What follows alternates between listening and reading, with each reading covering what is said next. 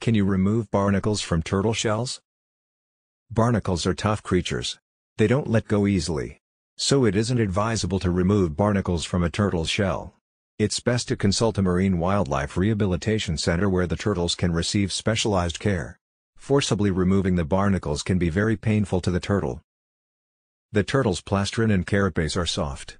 So, removing the barnacles with force can damage the turtle's shell.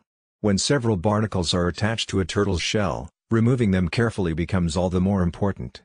Barnacles sometimes get etched into the turtle's shell. Trying to remove such barnacles with force can severely injure the turtle's shell.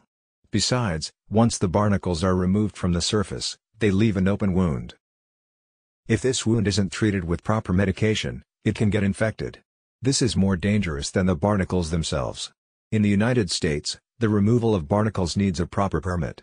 In the absence of a permit, removing barnacles is considered a violation of the Endangered Species Act and is a severe offense.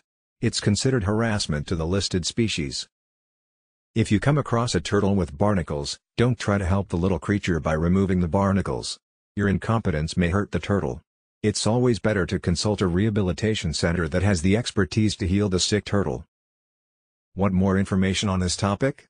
Check the link in the description below. And don't forget to subscribe to our channel and click the bell icon.